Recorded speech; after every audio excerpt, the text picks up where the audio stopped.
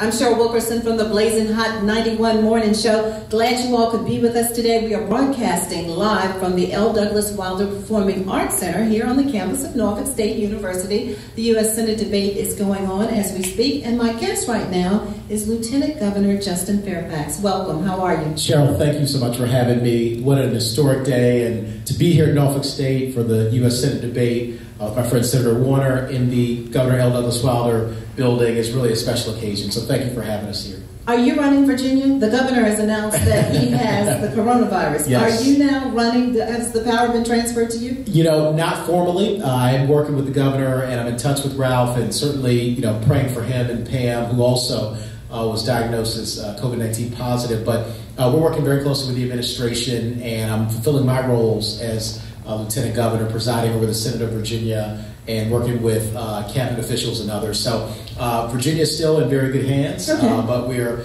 uh, monitoring the situation every single day. Okay, when you become governor, what will you do for Norfolk State University? you know, the question is, what won't I do for Norfolk State University? It's an extraordinary institution, and 85 years later, uh, I think stands as a beacon of hope uh, for all of us. And uh, I was proud to and honored to have given the commencement address here uh, just a couple of years ago. But we have to make sure that we are matching our support with funding here for the university. And prior to the COVID 19 pandemic and the changes in our budget, uh, we announced actually historic funding uh, for Norfolk State University and Virginia State of $300 million. Uh, now, uh, as we navigate this particular period, we'll have to you know revisit the budget, but I want to make sure we get back to that level uh, once we are through the coronavirus uh, pandemic. And so we've got to make sure there's adequate funding so that there can be research, facilities development, uh, making sure that it's accessible for all of our young people. And it's my commitment uh, to Norfolk State that I'm going to be a governor uh, that's here with you every step of the way. Uh, and I think that's really important to, to articulate this moment. And what do um, students of Norfolk State or faculty administration in Norfolk State, what do we need to do to make sure that we get that money?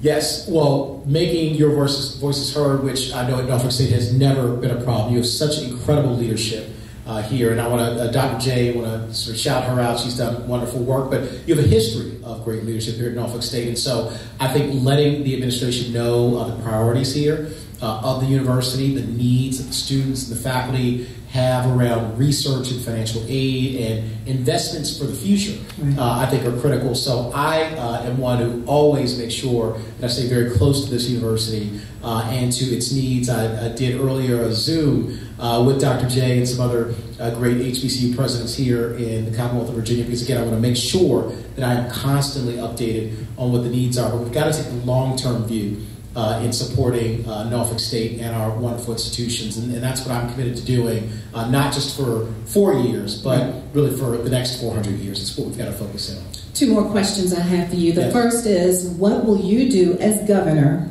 to stop black people from being killed in the streets every day at the hands of policemen?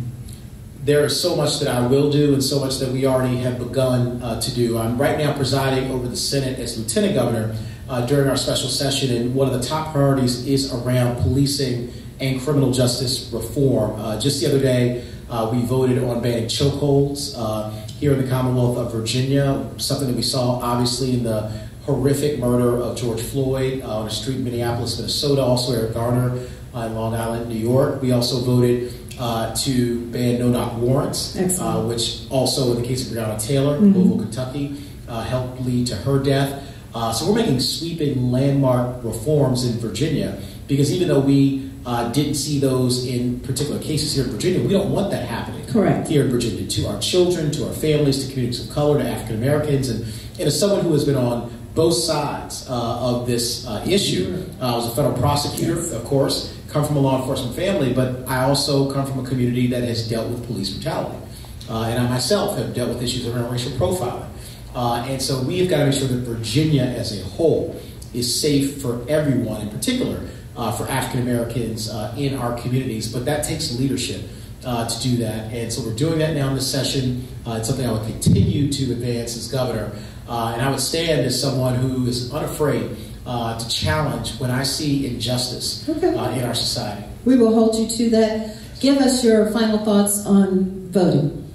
Voting is critical, uh, and I want to make sure everyone comes out uh, and votes. Uh, the election is on November the 3rd, but voting has already begun.